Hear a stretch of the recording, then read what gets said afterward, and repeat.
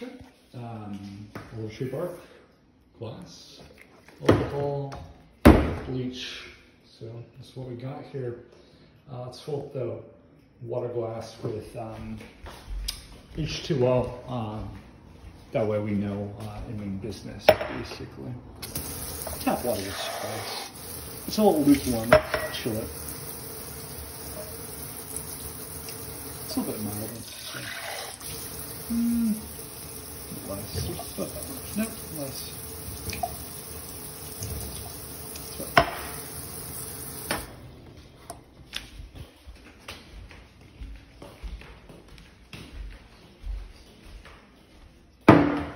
So. There's the water. Let's take the root of the olive tree here. Cut it. Oh, I'm in a different place as well. Here's the piece. That's a piece of olive bark, olive tree root actually take uh, the alcohol here.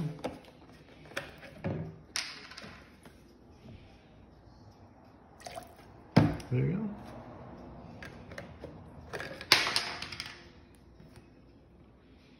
And as you can see, I mean, it's just olive tree bark, really, yeah.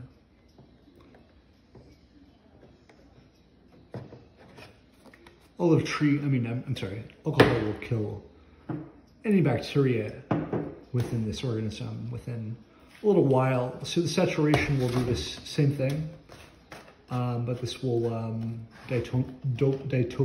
um, the, the living water cells and microorganisms. So it will take a little bit longer, but uh, also engloss it. So use it and create an IBV, like sugar, like IBV, like saccharin. So. Uh, this is what we get. Bubbles right away as the water exchange the alcohol. You can hear it sparkling or cracking, fizzling.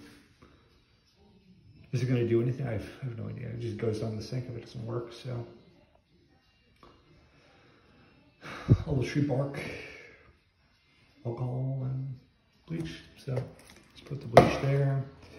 We'll see what happens to it. So there you are.